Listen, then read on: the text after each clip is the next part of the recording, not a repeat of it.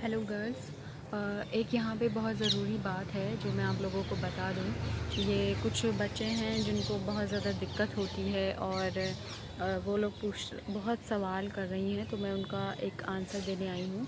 मैंने अभी अभी देखा ये बहुत सारी लड़कियों ने मुझसे पूछा है।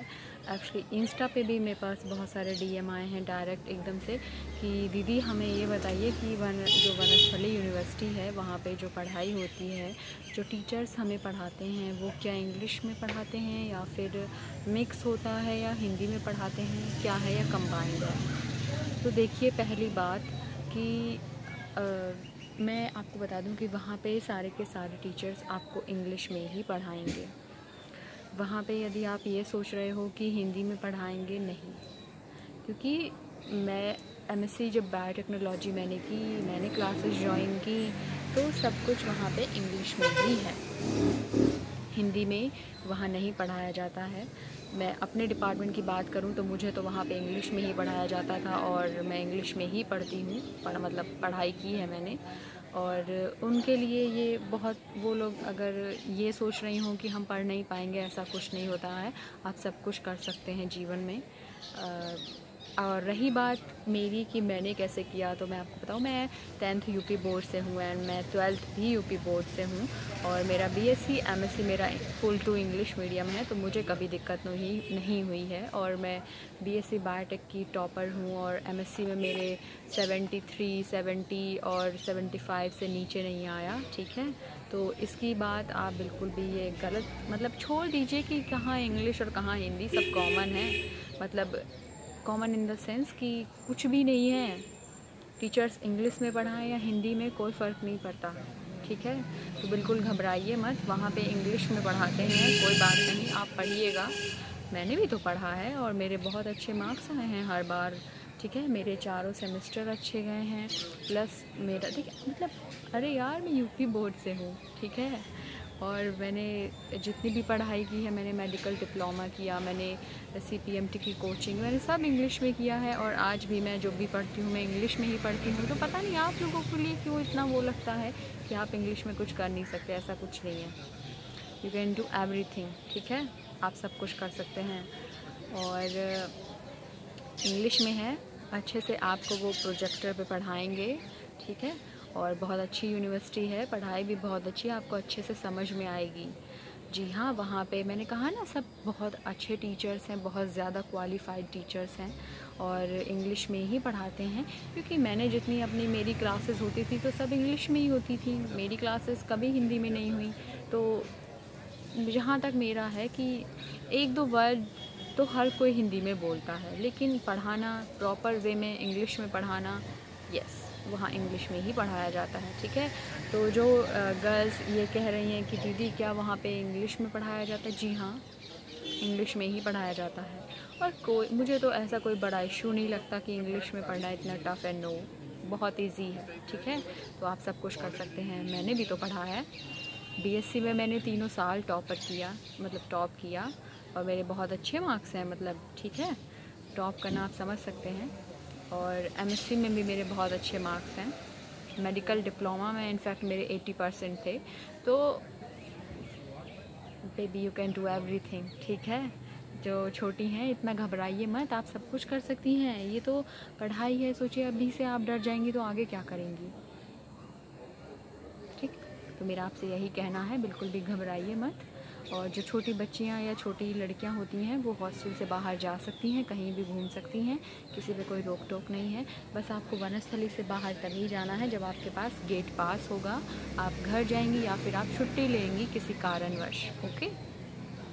तो मेरी बेस्ट विशेज़ आप लोगों के साथ हैं। अच्छे से पढ़िएगा। और जिनके एडमिशन्स मैं कह रही हूँ ना, जो लोग कह रहे हैं कि हमको दीदी कॉल लेटर आ गया है और हमने फ़ीस सबमिट नहीं किया तो क्या मेरा हो जाएगा? क्या ये हो जाएगा, वो हो जाएगा?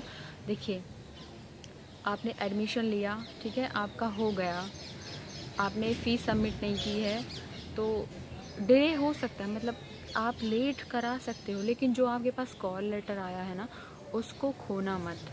यदि आपको एडमिशन वहाँ लेना है तो आपके पास यही कॉल लेटर होना चाहिए। आपको ये दोबारा नहीं मिलेगा इसके लिए, वरना फिर अगर आपको वनस्थली में एडमिशन लेना है, अगर आप रह जाते हो तो फिर आप अगली साल ही ले पाओगे, ठीक है? तो ये कॉल लेटर खोना मत। अगर आपने ये कॉल लेटर खो दिया तो आपका एडमिशन नहीं होगा किसी भी कीमत पर। फिर चाहे आप कुछ भी कर लेना। सारे सारे जुगाड़ लगा लेना, कुछ भी नहीं होगा। अगर आपके पास ये कॉल लेटर नहीं है।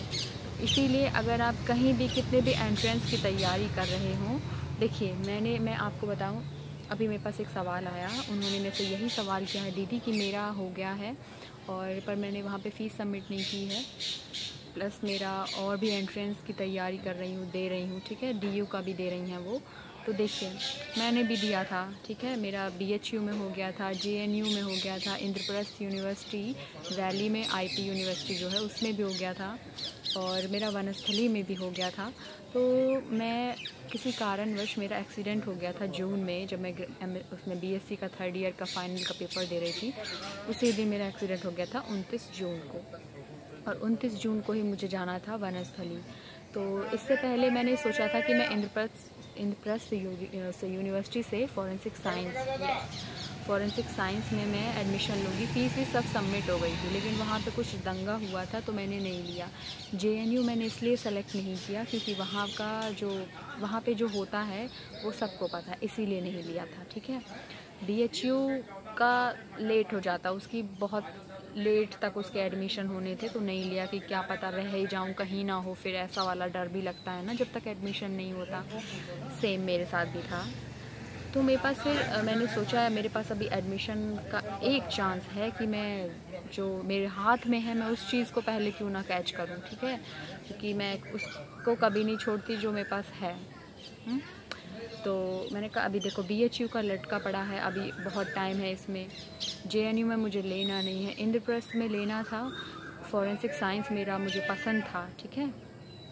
तो आ, उसमें मेरा उसमें वो हो गया। वहाँ पे लड़ाई झगड़ा हुआ तो वो कैंसिल हो गई। फ़ीस भी सब सबमिट हो गया था। तो वहाँ का मैंने छोड़ दिया। फ़ीस मेरी रिटर्न हो गई। मैं वहाँ से चली आई। भैया भी गए थे मेरे साथ एडमिशन कराने मेरा। और भैया के दोस्त भी थे। उसके बाद में जब घर पे थी तो मेरे पास कॉल लेटर मेरे हाथ में ही था, वो था ही मेरे पास, ठीक है? वनस्थली बस मैं एक डर था कि मैं नहीं जाना, मुझे नहीं जाना, बिल्कुल बंद हो जाऊँगी, ये हो जाऊँगी, वो हो जाऊँगी, इस टाइप से था मेरे साथ, ठीक है? मुझे दिल्ली जाना था। ये कर दिया मैंने, लेकिन जब मुझे लगा कि नहीं, अब नहीं, पढ़ाई करो अंशु और ये मत छोड़ो जो तुम्हें मिला है। फिर मैंने मेरा एडमिशन की डेट निकल गई थी। मेरे पास बस कॉल लेटर था, मैं डेली फ़ोन करती थी, पता करती थी कि एडमिशन हो जाएगा या नहीं हो जाएगा नो वहाँ पे ऐसे कुछ पता नहीं चला। फिर मैंने डायरेक्ट गई मैं गाड़ी से मतलब घर वालों के साथ गई थी जयपुर। फ़ीस वीस के साथ गई थी, सब कुछ लेके गई थी एवरीथिंग मतलब सब कुछ एकदम परफेक्ट तरीके से लेके गई थी। कुछ भी मुझे वहाँ पे कमी ना पड़े जब मैं एडमिशन लूँ तो। वहाँ पे क्या था पहुँचे कॉल लेटर था ही मेरे पास। उन्होंने कहा, आपका कॉल लेटर थैंक गॉड मेरे पास वो था। बस एक वही मात्र सहारा था। उसी से एडमिशन होता है तो मैं आप लोगों को बस समझा रही हूँ, उसको मत खोना। अगर किसी को भी, कहीं पर भी एडमिशन आप लोगों का नहीं होता है और आपके पास वनस्थली का आया हुआ कॉल लेटर है तो आपका एडमिशन हो जाएगा। फिर ना, जिन लोगों ने एडमिशन वाले दिन एडमिशन नहीं लिया, उनके लिए जो लेट से आ रहे थे कि हम, हमारा एक्सीडेंट हो गया था, हम किसी कारणवश नहीं आए, कोई रीज़न था, सब लोग अपना अपना रीज़न दे रहे थे। उसके बाद जो वहाँ पे डी बहुत बड़े जो हेड हैं वहाँ पे जो साइन करते हैं, उनके ऑफ़िस में जाना था, वहाँ लगी थी लाइन लड़कियों की, बहुत लंबी लाइन लगी थी, जो मेरी तरह भी थी। बट ये है कि फिर उन्होंने उस पर हमसे वो लिखवाया कि हम किस वजह से हमारा एडमिशन हम नहीं आए, उस दिन जिस दिन एडमिशन होना था। और फिर उन्होंने साइन किया। तब एडमिशन प्रोसेस मेरी शुरू हुई। कम से कम दो तीन घंटे में मेरा एडमिशन हो गया। प्रोसेस बहुत लंबी होती है एडमिशन की और मैं आपको ये बता दूँ फ़ोटो से लेकर फेविकॉल सब कुछ मतलब फेवी स्टिक सब कुछ लेके जाना, कुछ भी वहाँ पर आपको मांगना ना पड़े, तभी आपका जल्दी एडमिशन हो सकता है। क्योंकि इतना बड़ा चौड़ा फॉर्म होता है वो, आप उसको भरेंगे और उसमें इतने फ़ोटोज़ लगते हैं, इतने साइन होते हैं, बीस पच्चीस जगह तो ठीक है, ये सब हर चीज़ लेके जाइएगा सेट करके एकदम। प्लस आपका जो वहाँ पे जो गार्जियन बनेंगे ना, उनके साइन भी बहुत जगह होंगे।